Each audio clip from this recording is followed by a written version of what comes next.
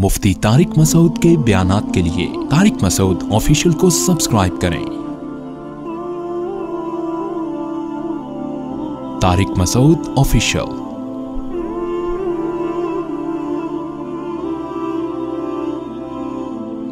नबी ने क्या फरमाया? जिसने ख्वाहिशात को अपना हदफ बनाया, कि मैं ये ख्वाहिश ये ख्वाहिश ये ख्वाहिश, ये भी हो जाए, ये भी हो जाए तो आपने क्या फरमाया? क्या उसकी ख्वाहिशात पूरी हो जाएँगी? क्या वो खुशियों में आ जाएगा? ना ना ना ना ना ना। ये पैगंबर कह रहे हैं अल्लाह के सच्चे पैगंबर। वो कभी भी खुशियों में नहीं आएगा। फरमाया, उसको क्या सज़ा मिलेगी?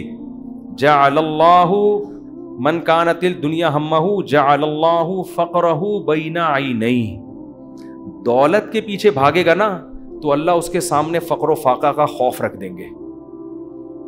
समझ रहे हो? दौलत के पीछे भाग रहा है। आ रही है, मिल भी रही है। लेकिन खौफ क्या होगा कि ये मुझसे छिन ना जाए? इस बात की टेंशन, यार ये खत्म ना हो जाए। यार ये छिन ना जाए। यार कोई कारोबार को नुकसान ना हो जाए। बड़े बड़े करोड़पति फैक्ट्रियों के मालिक आते हैं, कहते हैं, एक लाशूरी सा खौफ हमें सताता है। दुनिया की हर नेमत उनके पास। मगर दिमाग में ना एक कह रहे हमें खुद भी नहीं पता हम डर किस चीज़ से रहे हैं। लेकिन सुकून नहीं है। एक लाशूर में खौफ है जो हमें मुसलसल सता रहा है। यहाँ एक आए कई साल पहले, सफ़ेद टोपी, पूरी प्रॉपर दाढ़ी और जनाब सफ़ेद कुर्ता, बड़े ऐसे नुरानी चेहरा और पक्के नमाजी थे, बहुत बड़े ताजिर। मुझे कहने लगे, मुफ्ती साहब, मैं एक दिल की बात आपसे शेयर करना चाहता हूँ। मैंने कहा, जी कहने मैं नमाज़ भी पढ़ता हूँ, रोज़े भी रखता हूँ अहलुल्ला की सोबत में भी बैठता हूँ और लेकिन पता नहीं मेरे दिल में सुकून नहीं है। मेरे दिल में सुकून नहीं है। मैंने कहा, आप फैक्ट्री के मालिक हैं, कोई प्रॉब्लम है तो बताएँ। कह रहे, नहीं, कोई प्रॉब्लम भी नहीं मैंने कहा, आपके साथ बेसुकूनी पता है क्या है? मैं जानता हूँ आपकी बेसुकूनी। आपको ये डर है कि इस फैक्ट्री का को नुकसान ना हो जाए। जैसी ज़िंदगी अभी है, पता नहीं ये हमेशा वैसी रहेगी भी या नहीं रहेगी। तो नमाज़ तो आपने पढ़ ली आपने ज़क़ातें भी दे दी, आपने रोज़े भी रख लिए। लेकिन ये जो लाशूर में खौफ है ना, इस खौफ का कोई इजाला करने वाला नहीं है। क्योंकि आपको पता है, ये श्योरिटी, ये गारंटी कोई भी नहीं ले सकता कि तुम्हें नुकसान कभी भी नहीं हो सकता। क्योंकि आपने अपनी ज़िंदगी में देखा है बड़े बड़े कारोबार चलते हुए ठप हो जाते हैं, लोग रोड पे आ जाते हैं। कह रहे हैं, बिल्कुल आप सही कह रहे हैं, मुझे यही खौफ है। मैंने कहा, इस खौफ का ये इलाज नहीं है कि आप अपने कारोबार को हर तरह से सेव कर लो। ये तो वो तो करना तो चाहिए सेव, लेकिन ये इलाज नहीं है। मैंने कहा, इसका इलाज ये है कि आप ये फ़र्ज़ कर लो कि ये छिन गया आपसे, सब कुछ अभी बर्बाद हो गई, अल्लाह ना करे फैक्ट्री में आग लग गई। अब होगा क्या? क्या नहीं क्या होगा? मैंने कुछ भी नहीं होगा। सुबह दो पराठे आप फिर भी खाओगे। रात को सोने के लिए छपड़ा आपको गंदे नाले पे या फुटपाथ पे मिल जाएगा। कोई बात नहीं इंजॉय करना। दुनिया मुसाफिर खाना है, रहने की जगह। बोलो, नहीं, हमारी बेसिक ज़रूरत है, जब शदीद भूख लगे, भूख बर्दाश्त नहीं होती है, खाने को रोटी मिल जाए, ये बेसिक ज़रूरत है। नींद आए तो सोने के लिए जगह मिल जाए। ये नींद ऐसी अजीब चीज़ है, आप अगर नहीं सोना एक वक्त आता है कि आप बचोगे भी ना तो कांटों पे भी नींद आ जाएगी आपको। अब जैसे मेरे साथ होता है ना, नींद नहीं हो रही, नहीं हो रही, एक वक्त जब बहुत ज़्यादा जमा हो जाती है फिर हम नहीं भी सोना चाह रहे होते हैं, सो रहे होते मैं एक दफ़ा सफ़र में आ रहा था, बड़ा लंबा बस का सफ़र था, सोने का टाइम ही नहीं मिला। तो जब हम सखर तक पहुँचे ना तो पुरानी बात है, बीस पच्चीस साल पुरानी। तो मैं ऐसा सोया हूँ, कभी उसके ऊपर जाके धड़ाम से गिर रहा हूँ, वो उठा रहा है भाई, क्या कर रहे हैं मौली साहब? फिर जब उधर को कर दो, धड़ाम से उसके ऊपर गिरा, वो कह रहा है मौली साहब तमीज से बैठो यार, फिर उधर।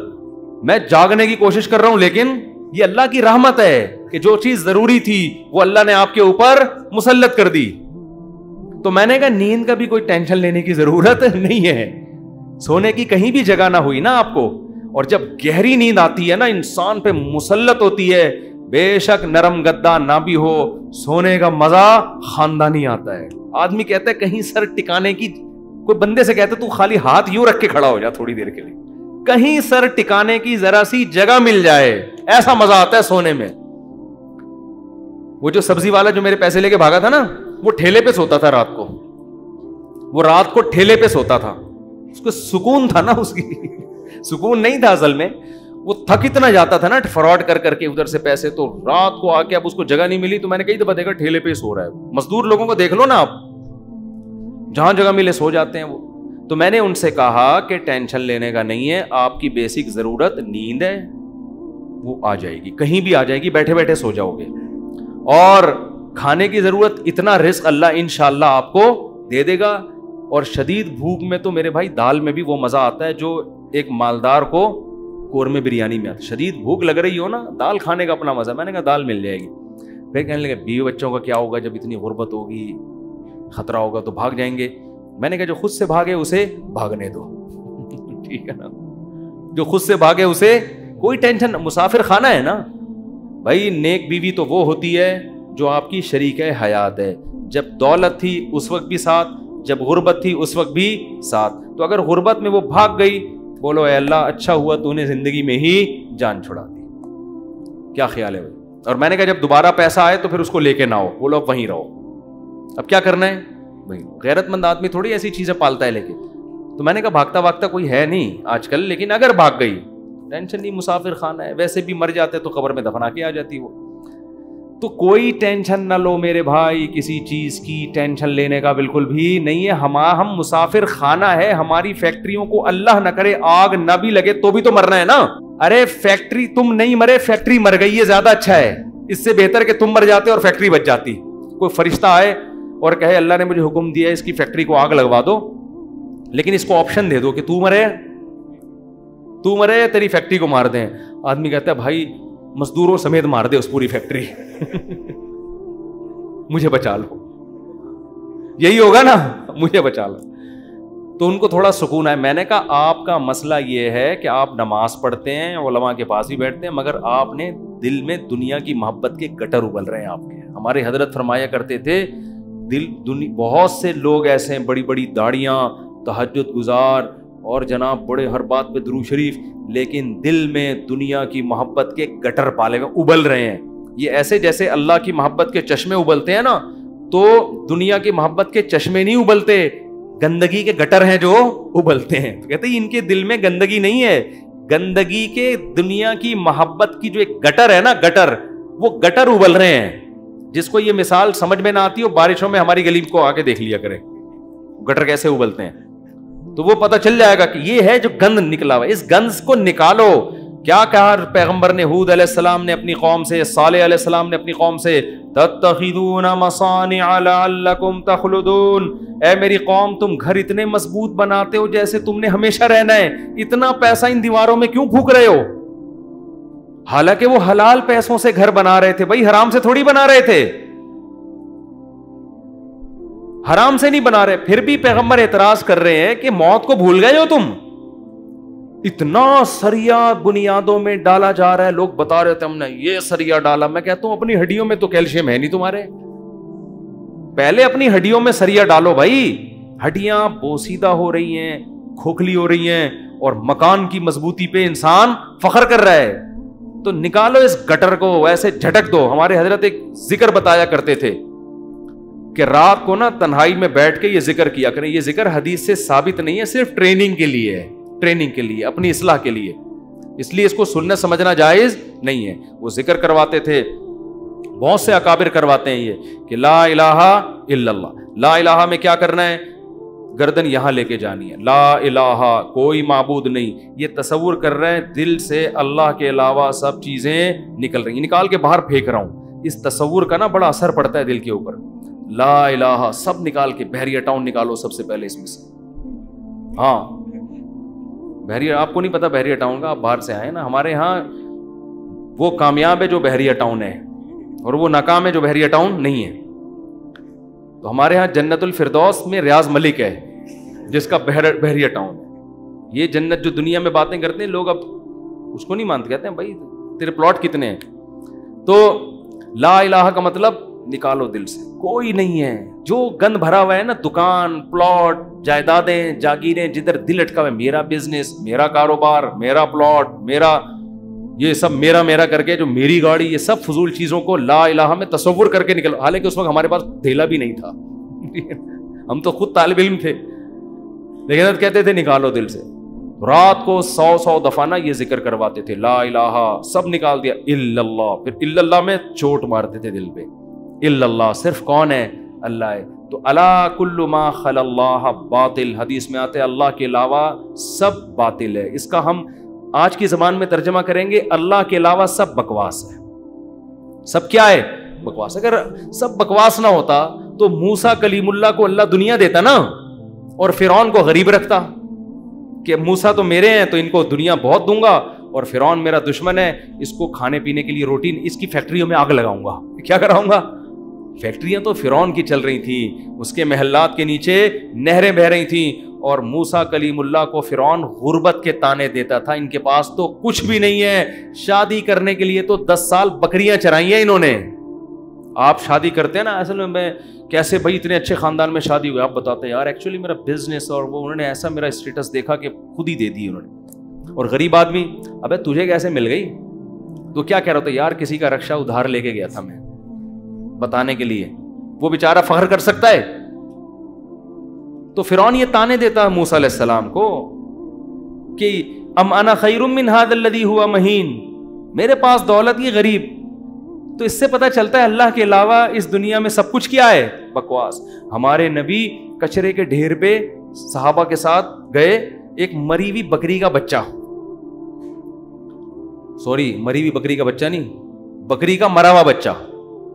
समझते हो? बकरी का मरा हुआ बच्चा। मुर्दार होता है ना बू आ रही होती है, फूल फट रहा होता है। आपने सहाबा से फरमाया, कोई है जो इसको कुछ दिरहम में खरीदे? साहबा ने कहा, या रसोल्ला इस गंद को कौन खरीदेगा? आपने फरमाया, अल्लाह की नज़र में इस दुनिया की हैसियत इससे भी कम है। जो हम इसको लिफ्ट करा रहे हैं ना, मेरा प्लॉट, मेरी गाड़ी, चंद, असल में ये समझ में आती नहीं है आँख बंद होगी तो समझ में आ जाएगा, यार किस चीज़ पे मैंने मेहनत की? तो दिल से दुनिया की मोहब्बत निकालो और ये ज़िक्र तन्हाई में इज्तिमाई ना करें, एक बिदत ना बन जाए। हाँ लाउड स्पीकर खोल खोल के भी मस्जिदों में हो रहा है। एक टोपी ड्रामे शुरू हो जाते हैं। हर चीज़ को ना लोग इंटरटेनमेंट का ज़रिया बना लेते हैं। अब ये ज़िक्र मैंने बता दिया तो अब पता चला मस्जिदों में प्रोग्राम चले आइए हमारे यहाँ तीन बज के पाँच मिनट पे ज़िक्र होगा। फिर हा, हु हु, रोना धोना, करना, कराना कुछ भी नहीं होता। तो तन्हाई में बैठ के अगर सौ दफ़ा ऐसे कर लेना ला इलाहा हल्की आवाज़ के साथ, ला इलाहा इल्लल्लाह, ला इलाहा इल्लल्लाह, ला इलाहा इल्लल्लाह। आप कई दिन तक कंटिन्यू करेंगे, आपके दिल की कैफियत बदलना शुरू। फिर आपको लगेगा, यार, ला इलाहा, कोई नहीं है, सब बकवास है। फिर कोई आपसे आके कहेगा ना, अबे, बहरिया टाउन। आप कहोगे, मैं तो रात को सौ दफ़ा दिल से ये बहरिया टाउन निकाला है मैंने। तो किस बहरिया टाउन की बात कर रहा है? दुनिया रखो ज़रूर, ऐसा ना हो कि प्लॉट ही बेच दे सुबह उठ के। तीन प्लॉट थे बहरिया टाउन में, बच्चों के लिए रखे हुए थे, ला इलाहा बहरिया टाउन निकाल के, सुबह का उठा के दे दो किसी को बस। तो इतना करें जितना अफोर्ड कर सकते हैं। ये तो हमारे नबी ने तो रखा ही नहीं ना, लेकिन हमें हुक्म है, हम कमज़ोर लोग हैं, रख लो। अगर अल्लाह ने वसाइल दिए हैं दिल ना लगाओ। दिल का दिल लगाने का क्या मतलब है? फैक्ट्री उस लड़के ने रखी थी, मगर दिल भी दिल में भी रखी हुई थी। तो मैंने कहा, दिल से फैक्ट्री को क्या करो? निकाल दो। जब निकालोगे तो क्या होगा? दिल में मोहब्बत है या नहीं है? इसकी अलामत है, छूट जाने पे नुकसान कितना होता है? देखो, बहुत से लोग अपनी बीवी से कहते हैं, मैं तुमसे बहुत मोहब्बत करता हूँ। पता चलेगा, मरने पे नुकसान कितना हो अफसोस कितना हो रहा है आपको। रहते तो सभी मियाँ बीवी इकट्ठे ही है ना? क्या ख्याल है? सुबह वो नाश्ता बना के देगी, आप खा लोगे, आपके बच्चों को सब एक मोहब्बत से हँसी खुशी ज़िंदगी गुजर रही है। इससे थोड़ी पता चलता है कि आपको इससे मोहब्बत भी है या नहीं है। अगर वो मर जाए, उसको कैंसर हो जाए, आपके दिल में आएँगे, चलो यार, बाजना ऊपर ऊपर से डॉक्टर साहब बहुत टेंशन में अंदर अंदर से यार खुद से जा रही है, जाने दो। जैसे एक एक, दो नंबर मौलवी साहब थे बिदती वो तकरीर करते थे चोरी हराम चोरी हराम चोरी हराम, एक दिन उनके घर में खाना नहीं। तो उनकी बीवी ने कहा, क्या करूँ भाई? उन्होंने कहा, पड़ोसियों की मुर्गी चोरी कर लो। तो उन्होंने कहा, भाई, पड़ोसियों के आप तो खुद चोरी के खिलाफ बयान करते हैं। उसने कहा, भाई, हम शोरबे से लगा के खा लेंगे। बोटियाँ, चोरी की तो बोटियाँ होंगी ना, बोटियाँ नहीं खाएँगे हम। अब उनकी बेगम ने सालन पकाया और देगची को उंडेलने लगी ताकि शोरबा आए और बोटियों को चम्मच से पीछे करने लगी। तो ये कहते हैं, भाई, जो खुद से आए, आने दो। चोरी तो वो है ना, हम खा रहे हैं, हम थोड़ी खा रहे हैं। खुद ही आ रही कशिश सिकल ग्रेविटी की वजह से आ रही है ये ज़मीन। तो बाज लोग बीवी से इतने बेजार होते हैं, इलाज भी कर रहे हैं ज़िम्मेदारी समझ के। लेकिन दिल में ये होता है, अगर खुद से मर रही है ना तो अल्लाह, तू समझता तो है ना मैं क्या कहना चाहता हूँ। तो साथ रखना, इससे नहीं पता चलता कि आपको इससे मोहब्बत है या नहीं है। लोग रह लेते हैं पैसा भी रख लेते हैं। मोहब्बत का इससे पता चलता है, छूट जाने पे गम कितना होता है। गाड़ी रखें, बंगला रखें, छूट जाने के लिए तैयार रहें, छूट गई तो कोई मसला नहीं है यार। तो मैंने उन साहब को कहा कि ये फैक्ट्री में अभी से फ़र्ज़ कर लो, आग लग गई है और सब बर्बाद हो गया। अब आप धोती बनियान में घूम रहे हो। ठीक है ना? तो क्या होगा? उस मैंने कहा वो अभी से फ़र्ज़ कर लो। तो कहने लगे, यार, बड़ा सुकून मिला है। तो मैंने कहा, ये सुकून आपका फिर ख़त्म हो जाएगा, फिर फैक्ट्री तो निकालो इसको दिल से। और दिल से दुनिया निकालने का एक बहुत बेहतरीन तरीका है, सदका किया करो। जब रोकड़ा खर्च करता है ना, दिल खींचता है। हम जो सदका करते हैं ना, उसमें टेंशन नहीं होती हमें। इतना करो जिससे थोड़ी सी तकलीफ़ हो कि क्या कर दिया यार, क्या कर रहा हूँ? हदीस में आता है, बेहतरीन सदका वो है कि जब तुम करो तो तुम्हें डर हो के गरीब ना हो जाऊँ। तमुल गिना व तख्शल फ़कर। और ना करने में उम्मीद हो कि बड़ा पैसा बना लूँगा। इस कंडीशन में जब करोगे ना तो ये सबसे बेहतरीन सदका है। तो सदका किया करो, दे दिया करो यार, ये हमारे हज़रत फरमाते थे, एक आदमी दुकान से इतनी मोहब्बत हो गई, उसको एक दिन उसने कहा कि मुझे इतना दुकान में दिल अटक गया, एक दिन मैं दुकान बंद करके बैठ गया। मैंने कहा, बाढ़ में जाए। अपनी इसलाह के लिए ना, कोई बात नहीं, नुकसान करो यार, अपना हर वक्त दुकान दुकान दुकान, ऐसी की तैसी ताला लगा के घर बैठ गया। कि जब नॉर्मल कंडीशन में होऊँगा, फिर आऊँगा। जैसे किसी को इश्क हो जाए ना, किसी से अब मिल तो रही नहीं है वो तो इश्क में वो पागल होना शुरू होता है। तो बेवकूफ़ लोग क्या करते हैं? हर वक्त उसकी याद दिमाग में, हर वक्त उसको देख रहे हैं, उसकी तस्वीरें देख रहे हैं, पुराने मैसेज पढ़ रहे हैं, सोच रहे हैं। बेवकूफ़ ये करते हैं। अकलमंद क्या करता है? लानत भेजो यार। सही है ना? नंबर ही ब्लॉक कर दो, ऐसी की तैसी। और जब ये कैफियत खत्म हो जाएँगी, फिर देखूँगा शादी हो गई, नहीं होगी, दोबारा ट्राई करके कोशिश करूँगा। पाकिस्तानी छोड़ता तो है नहीं। कहते फिर एक साल बाद दोबारा ट्राई करेंगे हम। तो अकलमंदी का तकाजा है। तो जल्दी से बस हदीस मुकम्मल कर दूँ। नबी ने फरमाया, जिसने ख्वाहिशात को हदफ बना लिया तो अल्लाह फ़क्र फाका उसके सामने लाके खड़ा कर देंगे। करोड़पति होगा, मगर आगे फ़क्र फाका उसको डरा रहा होगा। भाई, मैं हमला कर दूँगा, मैं तुझे खा जाऊँगा। इस खौफ की वजह से लाइफ को इंजॉय नहीं करेगा। जाल्लाह फ़करहु बैना नहीं व फर्रका अलैहि शमला। दूसरी सजा दुनिया में उसको ये मिलेगी कि उसकी फिक्रों को बखेर देंगे अल्लाह ताला। इतने मसाइल होंगे कि मेरा ये सिर्फ़ एक पैसा मसला नहीं होगा। यार ये काम भी हो जाए, यार ये भी हो जाए, यार ये भी हो जाए, यार फलां से ताल्लुकात भी ठीक हो जाए, या लोग मेरी मुखालफत करने वो भी छोड़ दें, यार वो फलाना। यानी वो इतने अंडे बच्चे होंगे कि सारे अंडों से चूजे निकले उसकी ये ख्वाहिश होगी। हालाँकि कभी मुर्गी के सारे अंडों से चूजे निकलते हैं। दो चार तो खराब हो जाते हैं ना। तो फर्रका, ये ये और अजीब टेंशन। सुकून नहीं होगा। ये भी ये भी ये भी। उसकी फिक्रें अल्लाह क्या कर देगा, उसके सामने बिखेर देगा। ये बिल्कुल ऐसे है, जैसे बहुत सारी टेंशनें अगर एक पोटले में हो ना, इंसान कहता उठा के पोटला फेंक दो, खत्म।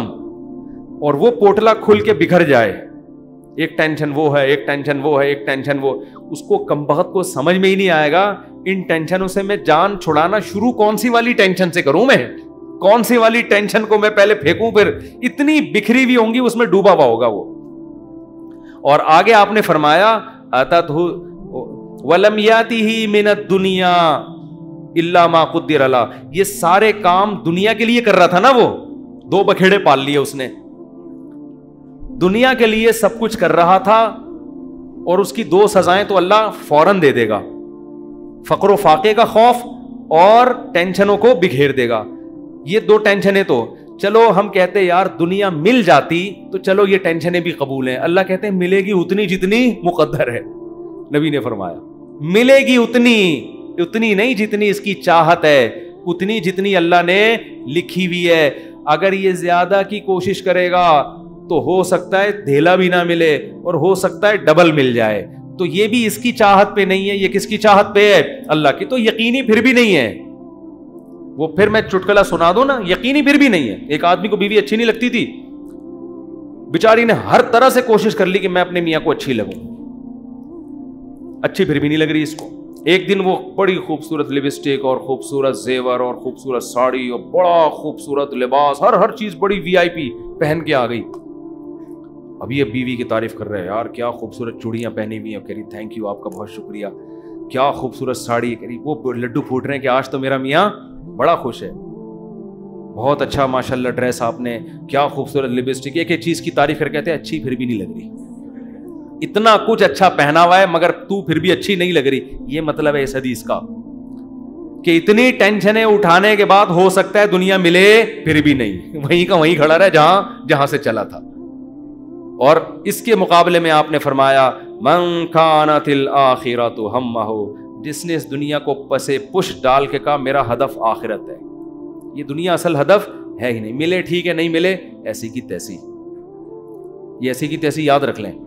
मिले ठीक है, बहरिया टाउन में प्लॉट मिल गया, ठीक है, नहीं तो गंदे नाले पे ले लेंगे, मिल गया, ठीक है, नहीं तो रेडी लगा लेंगे, मिल गया, ठीक है, नहीं तो वैसे ही बैठ जाएँगे, ठीक है ना? ये जिसका ये खौफ, और असल क्या है? आखिरत, मुझसे गुनाह ना हो जाए कोई। अगर हो जाए तो जल्दी से तोबा करके अल्लाह को मनाऊं। आपने फरमाया, जिसने आखिरत को हदफ बना लिया, जन्नत तो बाद में मिलेगी। कुछ इनामात दुनिया में मिलना शुरू हो जाएँगे। पहला इनाम जाल्लाहु शमलहु जमालहु मनकानतिल आखिरत हमहु जाल्लाहु गिनाहु फ़ी कल्बी। उसको फ़क्र फाका का खौफ था ना? फरमाया, इसके दिल में अल्लाह गिना, इसके दिल को मालदार बना देगा। इसको ऐसा लगेगा, यार, जितनी मेरी ज़रूरत नहीं है, अल्लाह ने रिस्क की बाल्टियाँ मेरे ऊपर उंडेल दी हैं। मेरी ज़रूरत सुबह दो रोटी की है और रोटी के बजाय अल्लाह पराठे खिला रहा है। अजीब बात है या नहीं है? मेरी ज़रूरत थी सिर्फ़ चाय पराठा मिल जाए और अल्लाह मुझे अंडे भी खिला रहा है। नहीं यार, ये समझ में तो रहने दो। बस ये आखिरी है। आप लोग भी बहुत थक गए होगे ना। मेरी ज़रूरत थी कि मैं किसी तरह बस रोटी और पानी मिल जाए, निवाला हलक में उतार लूँ। क्योंकि मुसाफिर खाना है ना। अरे, बस में सफ़र कर रहे हो, ट्रेन में सफ़र कर रहे हो, शदीद भूख लग रही आदमी कहता है, यार, दो निवाले कहीं स्टेशन से खरीद के ले आगे आगे पुप्पो का घर आने वाला है, पिशावर में। चाचू का घर आने वाला है तो मज़े ही मज़े बकरे रखे हुए वहाँ पे। सफ़र की टेंशन थोड़ी लेगा फिर। क्यों लेगा टेंशन वो? लोग कहते हैं, ये सीट सफ़र में तुझे जो है ना ट्रेन में बड़ी बेहतरीन सीट मिली, लेकिन तेरी नहीं है ये। तुझे छोड़नी पड़ेगी आदमी का। तो क्या मसला है यार? मेरी हो, वसीम भाई की हो। मुझे तो बैठने से मतलब है। तो कहता है, घर मेरा जाती हो या किराए पर हो? रहने से मतलब है। बनाया वसीम भाई ने करोड़ों रुपए का बीस पच्चीस हज़ार किराया देके। मैं रह रहा हूँ लाइफ को एंजॉय मैं कर रहा हूँ। बेवकूफ़ वो है जिसने बनाया। समझ में आ रही है कि नहीं आ रही? यार, तुम्हारे पास अपनी गाड़ी नहीं, तुम तो टैक्सियों में जाते हो। कोई बात नहीं यार टैक्सी खरीदी उसने। मैं पाँच सौ रुपए देके सफ़र मैं कर रहा हूँ। तो मेरी ज़रूरत तो नहीं थी। लोगों तो पैदल सफ़र किए हैं, इतने लंबे लंबे मूसा सलाम तो मिस्र से मदियन पैदल गए हैं और हम यहाँ से सदर पैदल नहीं जा सकते। तो हमारी ज़रूरत थोड़ी है, लेकिन अल्लाह ने इतना एहसान किया, ग्रीन बस बना दी भाई। इमाम मेहदी के आने से पहले पहले कराची में ग्रीन बस चल पड़ी। सुबहान अल्लाह जिस कराची में गटरों के ढक्कन नहीं है, उस पर अल्लाह ने इतना इनाम किया, ग्रीन बस चल रही है।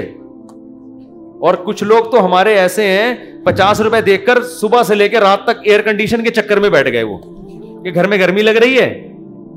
तो पचास रुपए दो और एसी में लाइफ को क्या करो? एंजॉय करो। ऐसे भी लोग हैं, वो सुना है, फिर उन्होंने कोई कानून चेंज किया। शुरू में ऐसा आया था कि पचास रुपए तो बैठे रहो, कोई नहीं पूछेगा। तो लोग सुबह फजर के बाद जाके बैठ गए, खाना वाना लेके। रात को उतर के घर आ गए। उन्होंने कहा, सारा दिन आज ठंडक में हमने गुजारा है। ठीक है ना? तो नबी ने फरमाया जाफी कलबी अल्लाह उसके दिल में गना। तभी तो मैंने बास गरीबों को बड़ी पुरसकून लाइफ में देखा है। एक गरीब के दस पंद्रह बच्चे थे मियाँ बी, बीवी और फिर माँ बाप भी उसी के साथ और वो मौसम्बियाँ बेचता था ठेले पे।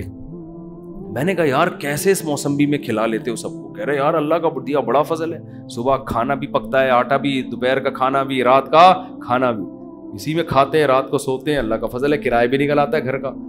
मैंने कहा, ये देखो, एक वो फैक्ट्री वाला है जो कह रहे हैं, लाशूर में क्या है, मुझे खौफ है, खौफ। क्यों? जब आखिरत असल बना ली तो फिर इंसान को जितना मिलेगा, उससे वो समझता है, मुझे मेरी मुसाफिर को इतने की ज़रूरत नहीं होती। अल्लाह, तू मुझे मेरी ज़रूरत से बहुत ज़्यादा दे रहा है। मुझे ज़रूरत इतने की नहीं है। समझते हो? बल्कि अगर गाड़ी नहीं भी होगी, कहेगा, अल्लाह, तूने पाँव से माजूर लोग पैदा किए हैं मेरी दोनों टांगे सलामत हैं, जो काँप भी नहीं रही हैं। बाज लोगों की टांगे काँप रही है ना? तो मेरी दोनों टांगे सलामत हैं, ये बड़ी फजीलत की बात है। तो हर चीज़ पे क्या रहेगा वो? खुश। हम अब, देखो, ये बातें जब इंसान किसी की ज़िंदगी में देखता है ना, फिर समझ में आती है। इसलिए कहते हैं, बुज़ुर्गों की सोहबत बहुत ज़रूरी है। हमने ये चीज़ें अपने शेख में देखी हैं। इंतहाई गुर्बत में भी कहते थे, अल्लाह ने इतने इनामात किए कि मुझे शर्म आती है। शर्म आती है कि अल्लाह, तेरे एहसानात का हम कुछ भी तो बदला नहीं दिया ना। हालाँकि क्या था, हमारे शेख के पास कोई अपनी प्रॉपर्टी नहीं, किराए के घर पे सारी ज़िंदगी गुजारी। और दिल से कह रहे होते थे, अल्लाह और कभी कोई परेशानियाँ माजी के बयान भी करते ना तो वो कहते मैं सिर्फ़ आपको सबक देने के लिए बता रहा हूँ, वरना वो बयान करते हुए मुझे शर्म इतनी आ रही है कि अल्लाह कहेगा, दो चार परेशानियाँ मैंने तुझे ज़िंदगी में क्या दी और तू लोगों के सामने गाता फिर रहे शर्म आती थी उनको। हमारे यहाँ ज़िंदा रहने का कितना शौक है ना लोगों को। बड़ी उम्र बड़ी उम्र। हज़रत कहते जब मैं तिरसठ साल का हो गया तो मुझे तो अब शर्म आने लगी, यार, मैं अभी भी मैं ज़िंदा हूँ। कितने लोग दुनिया से चले गए? अब ऐसा ना हो किसी बूढ़े को जाके आप कहें कि आपको शर्म आनी चाहिए। ये तो भाई बदतमीजी की बात होगी। बूढ़ों के लिए दुआ करें, अल्लाह इनको और ज़्यादा लंबी उम्र दे। क्योंकि जब आप तिरसठ के हो गए आपको शर्म वरम नहीं आएगी। आप कहोगे, यार, किसी तरह बच जाऊँ मैं। और कोशिश भी करो उनको बचाने की, क्योंकि बाद बेवकूफ़ होते हैं। हमारे एक रिश्तेदार हैं जाके हमारे नाना से बोल दिया कि इतनी लंबी उम्र से अल्लाह ने पना मांगी है। वो निन्यानवे साल के हो गए थे। तो हमने कहा, भाई, कम वक्त ही इनके सामने कहने का थोड़ी इतनी लंबी उम्र से अल्लाह ने पना मांगी है।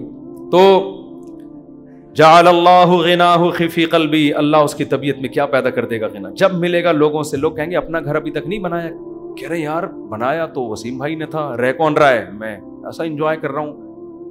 नल के तोड़ो, दीवारों को नीला पीला करो। किराएदार जो वाट लगाते हैं, बच्चों ने व्हाइट बोर्ड बनाया था दीवारों को। कीले ठोको उसमें।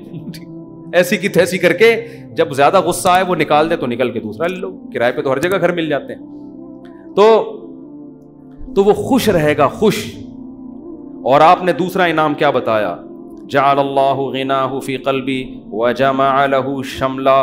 सारी टेंशनें अल्लाह जमा करके एक पोटले में बंद कर देंगे, उसको बता देंगे, तेरी ये दो चार टेंशनें, इससे ज़्यादा दुनिया के गम भी उसके दो चार ही होंगे, उससे ज़्यादा नहीं होंगे। एक कमारे को गम होगा जो मेरा बयान सुनता है, मेरी शादी हो जाए। बस टोटल गम, टोटल पोटले में ये दो चार ही गम है उसके। दुनियादार आदमी के गम एक तो बहुत बड़ा पोर्टल है और वो भी क्या है? बिखरा हुआ है।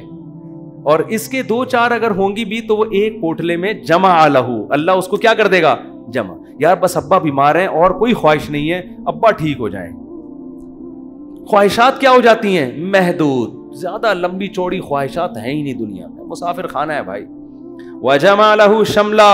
और आपने फरमाया हुआ आता तो दुनिया वही रागिमा। पहले वाले की हालत क्या थी? सब कुछ कर लिया, अच्छी फिर भी नहीं लग रही। वही था ना? मिला फिर भी नहीं। फरमाया, इसके पीछे दुनिया आएगी, नाक रगड़ते हुए जलील होके आएगी। ये दुनिया को लिफ्ट नहीं कराएगा। इस हदीस का मतलब समझना है ना अहलुल्ला की जिंदगियाँ देखो, हमने देखी हैं। ऐसे रिस्क के दरवाजे खुलते थे, उनको हमारे हज़रत के पास जब नोटों की गड्डियाँ आती थी ना, जब रिस्क के दरवाजे खुले, हज़रत से गिना नहीं जाता था। क्योंकि हज़रत का टाइम बड़ा कीमती था, गिनते थे, यार ये क्या मसला है यार? कई दफ़ा ना दो दो तीन तीन नोट गिन लेते थे। फिर कहते थे, बस वो दे देना, जितने भी हैं। और आपके पास आए, बैठ के यूँ यूँ करके ना छः छः दफ़ा थूक लगा लगा के, यार ये फिर लाइट में देख रहा है। हमारे महल्ले में एक बंदा रहता था, कोई उसको जानता नहीं है, बहुत पुरानी बात है, इसलिए गीबत नहीं आई। वो इतना कंजूस दुकानदार था, उसका नाम बनिया रखा हुआ था लड़कों ने। उस वक्त चवन्नी अठन्नी भी चलती थी। चवन्नी, चारा ने ना एक रुपए का वन फोर्थ हमें याद है, हम कोई चीज़ खरीदने आते ना चवन्नी तो वो चारा ने को ना यूँ यूँ करके देख रहा होता था। किस नकली तो नहीं, अबे चारा ने कहाँ से कोई नकली छापेगा यार? इतना देख रहा होता था यूँ यूँ करके ना उसको। उसका नाम लड़कों ने रख दिया था। मनिया, ठीक है ना? तो ऐसा दिल में हवस, ऐसी हवस, गिन रहे बैठ बैठ के। बार बार तो हमने देखा है तो नबी ने फरमाया आता तो हो दुनिया दुनिया उसके पास आएगी और ये इस्तना के साथ। वही अरागमा, ये दुनिया के पीछे नाक नहीं रगड़ेगा, दुनिया इसके पीछे नाक रगड़ेगी। जलील होके आएगी इसके पास और ये लिफ्ट नहीं कराएगा। मोहब्बत नहीं देगा उसको। इकराम तो कर लेगा, इज़्ज़त तो दे देगा कि भाई आ रही है, आने दो। मोहब्बत नहीं करेगा उससे वो भाई, हम फाना चीज़ों से दिल नहीं लगाते। प्लॉट मिल गया बहरिया टाउन में। वो अच्छी बात है, माशाल्लाह। नहीं मिला, कोई बात नहीं। और मिल गया, ज़्यादा थोड़ी दिल लगाना है उसको उसको लिफ्ट थोड़ी करानी है ज़्यादा। हर वक्त उसी पर आपको पता है मेरे तीन प्लॉट हैं बहरिया टाउन में। आपको पता है मेरा घर बन गया है, आपको पता है ये है, आपको पता है वो है।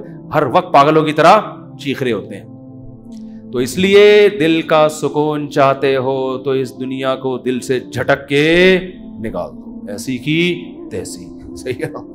और हदफ किसको बनाओ? आखिरत को। और उसमें यही है, गुनाहों से बचो भाई। अल्लाह ताला हम सबको समझने की, अमल करने की तोफ़ी अता फ़रमाए।